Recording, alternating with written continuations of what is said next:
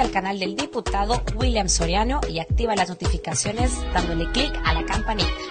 Este día queremos lanzar algo que tiene décadas de ser una deuda histórica para nuestro país.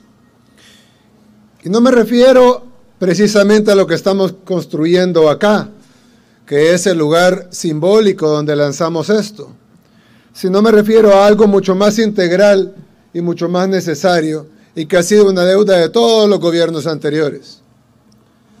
Y alguien puede decir, el presidente siempre menciona los gobiernos anteriores, el presidente siempre menciona el pasado, el presidente, ¿qué importa eso ya? Si hay que ver hacia el futuro. Pues claro que estaba viendo hacia el futuro.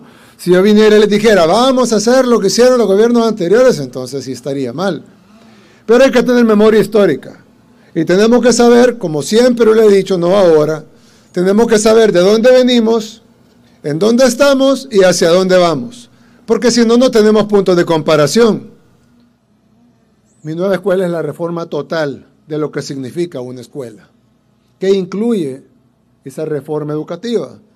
Bueno, incluye la infraestructura, que es lo que estamos haciendo ahorita. Incluye la primera infancia, que es lo que está haciendo en, en este momento la primera dama. Incluye la formación, la formación docente, que también lo está ejecutando la primera dama, junto con el apoyo del Ministerio de Educación, por supuesto.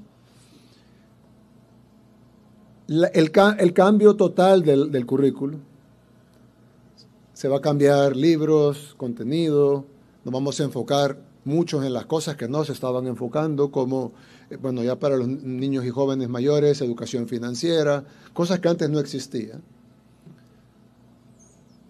Tecnología, lo que hablábamos, de nada sirve tener escuelas sin computadoras o darles unas lempitas, sino que tener la mejor tecnología a la disposición para que puedan atender con la mejor, eh, aprender perdón, con las mejores herramientas que existen y la salud y la nutrición. Hay que darle nutrición al cerebro y salud al cuerpo para poder eh, estudiar y aprender más. Muchas gracias al señor presidente. Hoy nos ha mandado a hacer un nuevo escuela y gracias a él hoy ya va a ser de segunda planta y estamos muy agradecidos porque la vamos a poder estrenar antes de graduar. Súper agradecidos, de veras, muy, muy agradecidos. Que Dios bendiga pues de veras al presidente, al Ministerio de Educación, al señor ministro, a toda la gente que permitió esta millonaria inversión, de veras.